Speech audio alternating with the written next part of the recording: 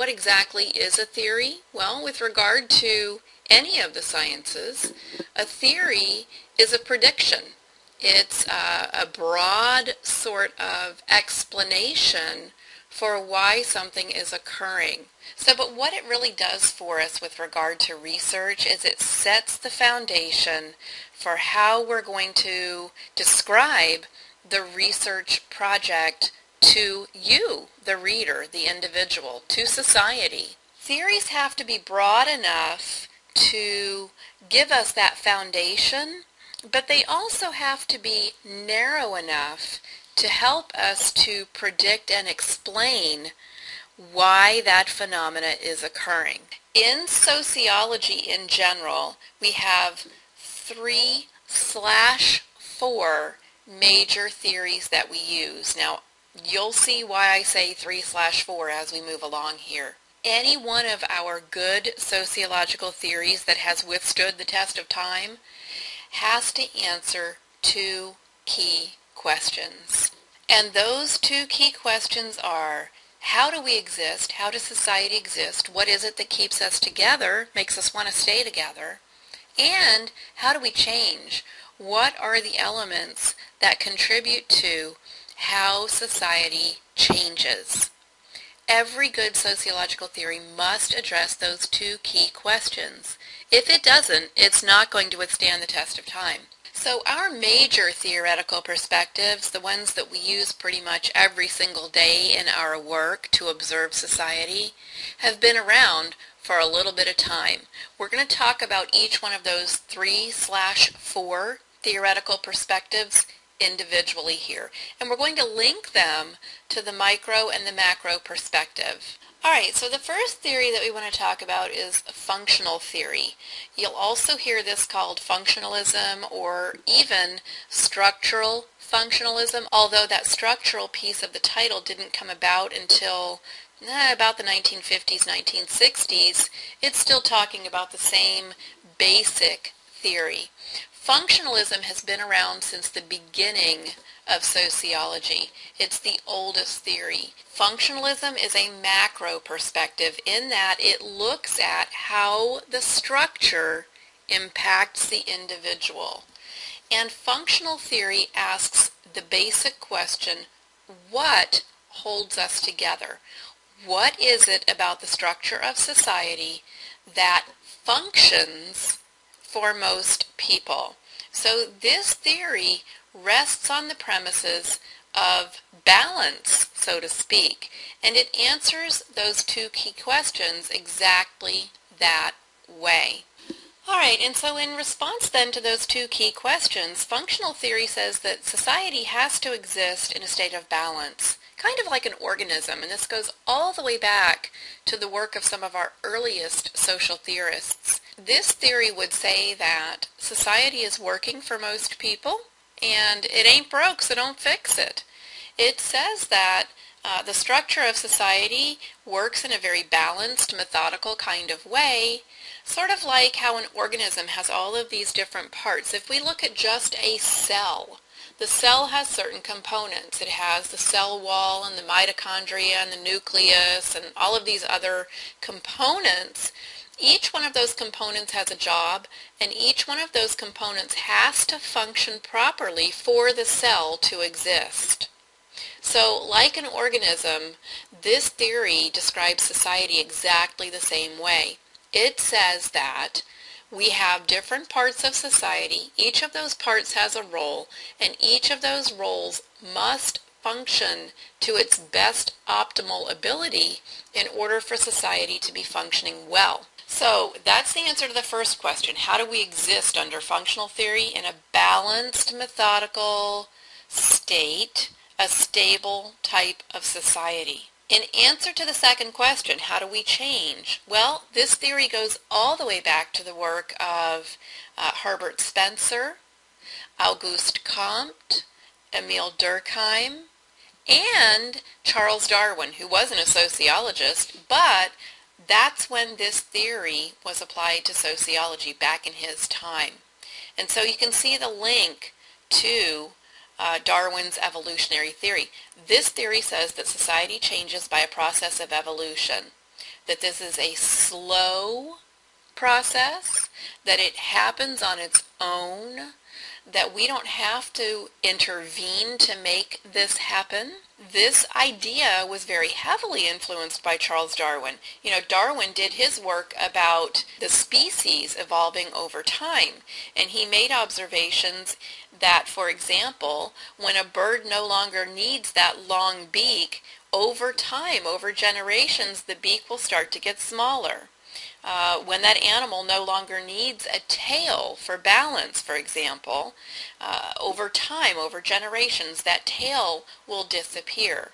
And so the exact same concept that Darwin used is applied with the study of society in functional theory. Functional theory says that we will change over time as a response to things that are dysfunctioning in society this doesn't require us, however, to do anything. It doesn't require any effort on our part at all. It's going to happen on its own. And that leads us to the major criticism of this theory. It doesn't require us to do anything. It requires no effort on our part, and we know that the status quo is supported in society. And so the major criticism here is that uh, this type of theory leave it alone, don't worry about it, it's working for most people, marginalizes the experiences of minorities, women, African Americans, Hispanics, elderly people, uh, gay, lesbian, bisexual, transgendered people, all get marginalized under this type of view of society that eventually things will just work themselves out.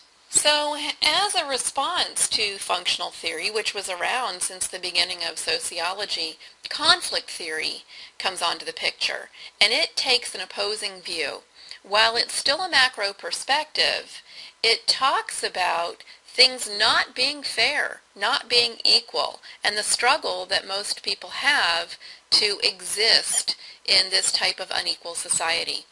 Uh, some of our key players with regard to conflict theory, primarily back in the day, Karl Marx was our first conflict theorist.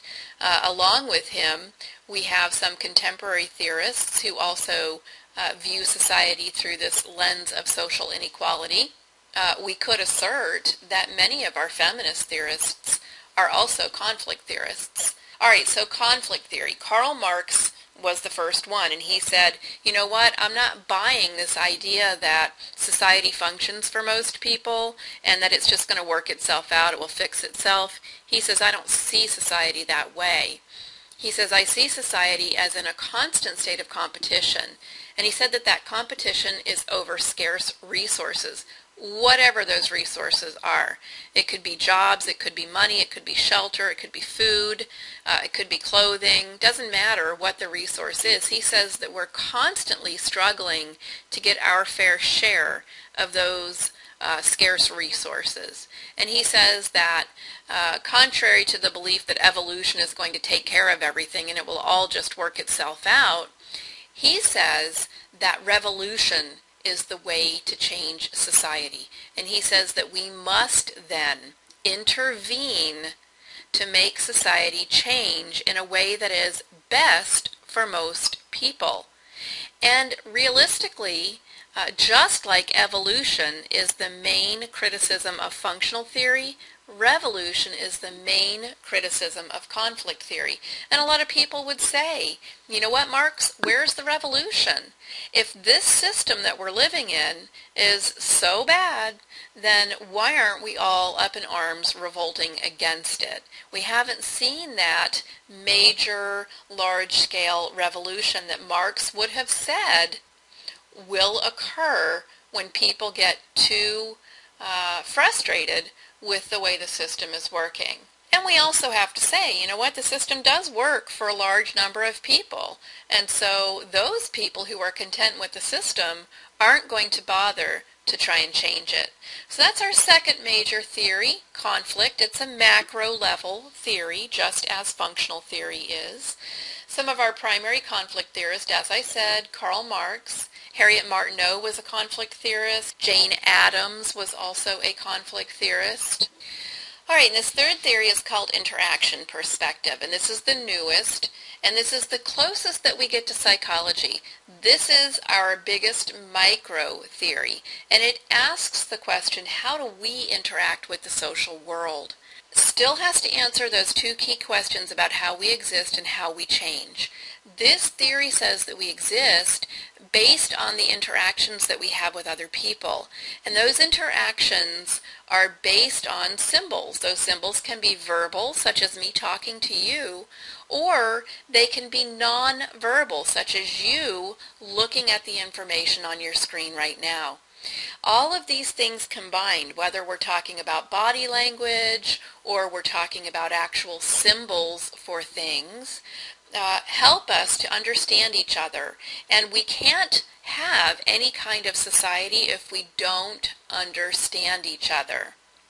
This theory says that at that more intimate level, those interactions that we have with each other every single day help us to negotiate with each other, and that in turn helps to create a new society, a new reality that we have to live in.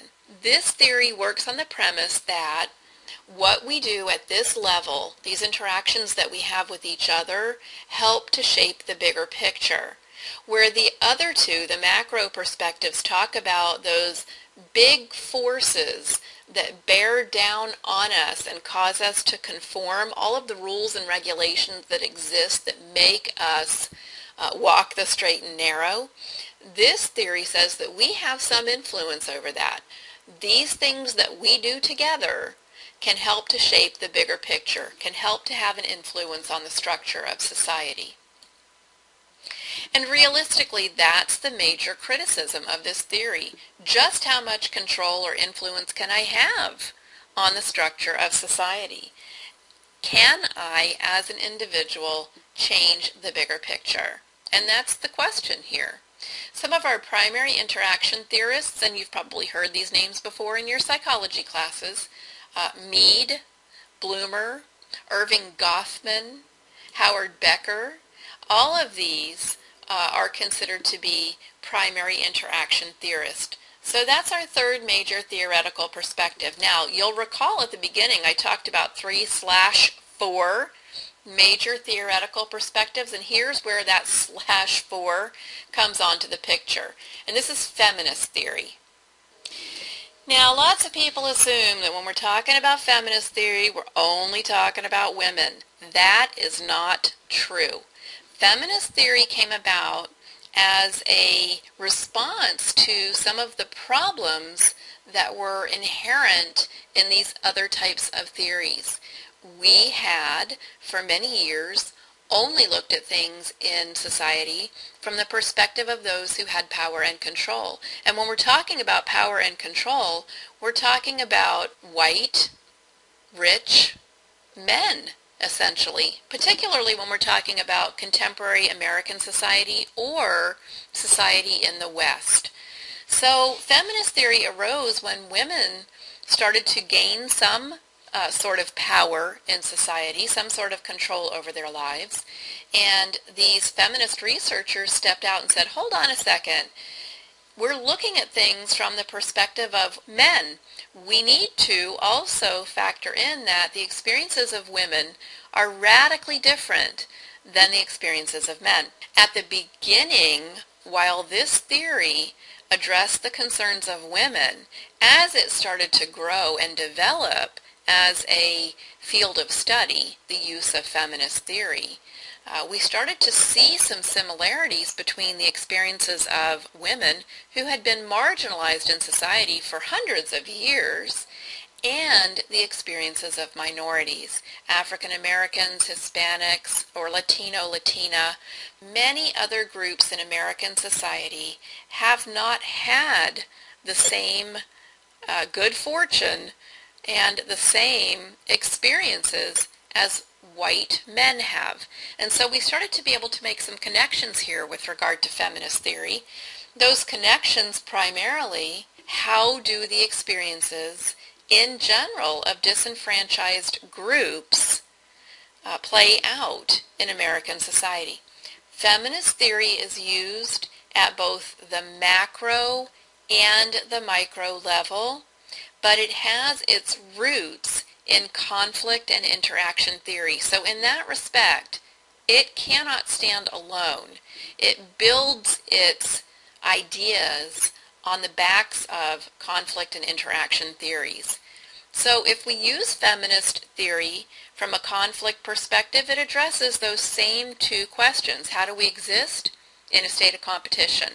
How do we change? Through revolution.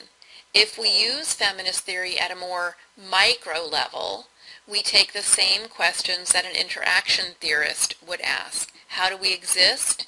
Uh, we share meanings through interactions. How do we change? We negotiate a new reality. So feminist theory can't really exist just on its own. It gets its foundation from those two other theories. And now so you can see why I call it kind of a slash four theory. Doesn't stand by itself, but still an essential uh, research theoretical orientation for today's sociologists. And, you know, it has the same criticisms.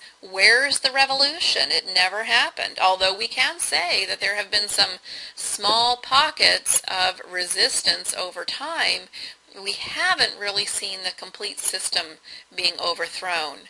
Uh, it also contains that same interaction criticism. How much can I, as an individual, or these small groups that I'm involved in, how much of an influence can we really truly have on the structure of society?